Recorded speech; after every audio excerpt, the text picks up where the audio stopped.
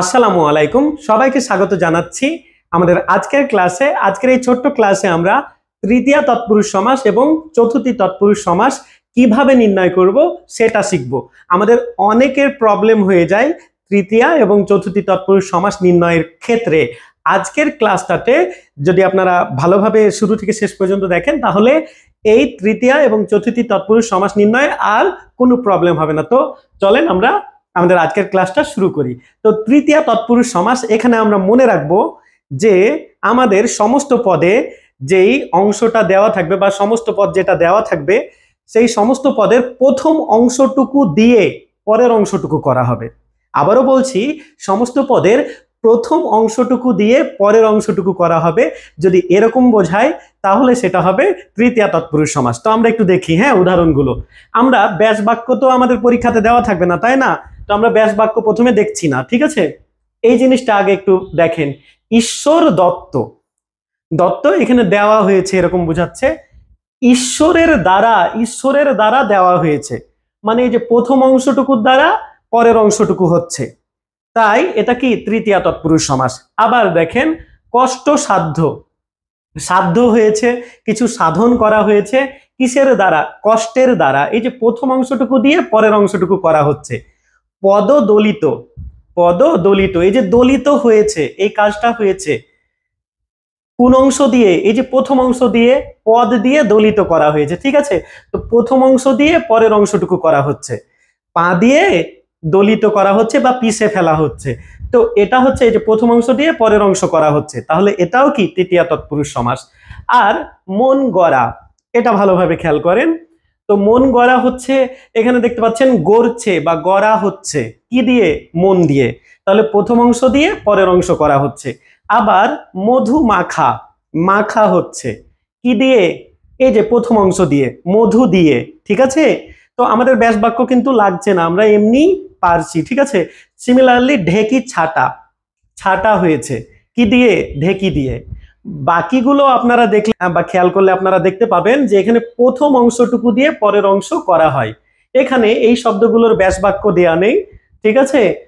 তবু এই শব্দগুলো দেখলেও আমরা বুঝতে পারব যে এগুলো তৃতীয় তৎপুরুষ সমাস। আমি একটা, দুইটা দেখাই, এখান থেকে দেখেন।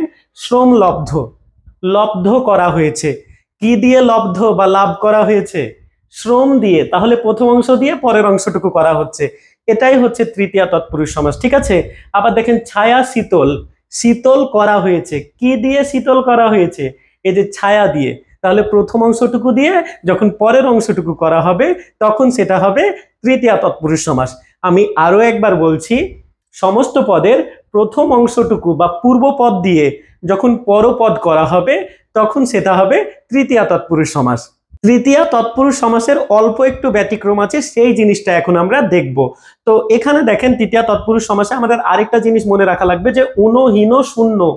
কমও হয়, কমটা এখানে আসলে টাইপ করা হয়নি। তো উনহীন শূন্য কম, এগুলো যদি সমস্ত পদে থাকে, তাহলেও সেটা কি হবে? তৃতীয়া তৎপুরুষ সমাস। হবে যেমন এখন, এক দ্বারা উনো, এই যে উনো থাকলে কি হবে? এই তৃতীয় তৎপুরুষ সমাস হবে। আবার বিদ্যাহীন, বিদ্যা দ্বারা হীন, তাহলে জ্ঞানহীন, জ্ঞান দ্বারা হীন, এই যে হীন থাকলেও কি হবে? তৃতীয় তৎপুরুষ সমাস হবে। আবার শূন্য, জ্ঞান শূন্য, জ্ঞান দ্বারা শূন্য, মেধা শূন্য, মেধা দ্বারা শূন্য।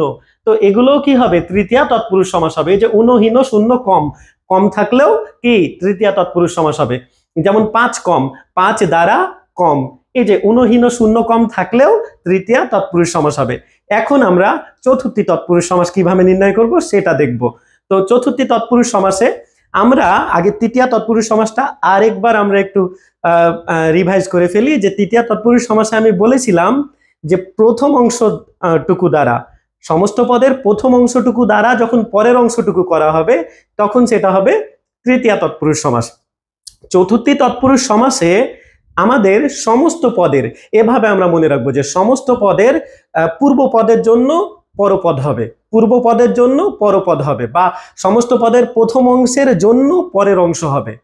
তৃতীয়াতে বলছিলাম প্রথম অংশের দ্বারা পরের অংশ হয়। প্রথম অংশের দ্বারা পরের অংশ হয় তৃতীয়াতে। আর চতুর্থীতে বলব প্রথম অংশের জন্য পরের অংশ হয়। তো এরকম আমরা কিছু উদাহরণ দেখি। দেখেন, আমি বলছি প্রথম অংশের জন্য পরের অংশ হয়। রান্নাঘর, এটা দেখেন, এই যে ঘরটা হয়েছে, ঘরটা কেন হয়েছে, কেন, দ্বারা না কিন্তু। প্রথম অংশের দ্বারা পরের অংশ হয়, এটা হচ্ছে তৃতীয় তৎপুরুষ সমাস। কিন্তু প্রথম অংশের জন্য পরের অংশ হয়, এটা হচ্ছে চতুর্থী তৎপুরুষ। ঠিক আছে? রান্নাঘর, ঘরটা কেন হয়েছে? এই যে রান্নার জন্য, প্রথম অংশের জন্য পরের অংশ হচ্ছে, ঠিক আছে? বসত বাড়ি, বাড়িটা কেন হয়েছে? বসতের জন্য। ঠিক আছে? এই যে, তাহলে এই যে পূর্ব পদের জন্য পরপদ হচ্ছে বা প্রথম অংশের জন্য কি? পরের অংশ হচ্ছে। বালিকা বিদ্যালয়, বিদ্যালয়টা কেন হয়েছে এখানে? এই বালিকাদের জন্য, তাহলে পূর্ব পদের জন্য পরপদ হচ্ছে বা সমস্ত পদের প্রথম অংশের জন্য কি? পরের অংশ হচ্ছে। আবার ছাত্রাবাস, এই যে ছাত্রাবাস, আবাসটা কেন হয়েছে? ছাত্রদের জন্য, প্রথম অংশের জন্য পরের অংশটুকু হচ্ছে। তপবন, তপ অর্থ হচ্ছে তপস্যা হ্যাঁ?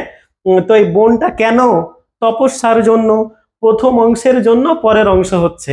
ঠিক আছে, তা আরাম কেদারা, কেদারাটা কেন হয়েছে? এই যে আরামের জন্য, প্রথম অংশের জন্য, পরের অংশ, ঠিক আছে? বিয়ে পাগলা, সে পাগলা, কেন পাগলা? এই যে প্রথম অংশের জন্য, পরের অংশ, তাহলে এটাও কি হবে? চতুর্থী তৎপুরুষ সমাস হবে। মানে প্রথম অংশের জন্য যখন পরের অংশ হবে, তখন সেটা চতুর্থী তৎপুরুষ সমাস। আর প্রথম অংশ দিয়ে দিয়ে যখন পরের অংশ হবে, তখন সেটা তৃতীয় তৎপুরুষ সমাস। মুক্তিযুদ্ধ। মুক্তিযুদ্ধ তৃতীয় তৎপুরুষ সমাস হবে নাকি চতুর্থী তৎপুরুষ সমাস হবে? সেটা আপনারা কমেন্ট বক্সে কমেন্ট করে জানাবেন। ধন্যবাদ সবাইকে।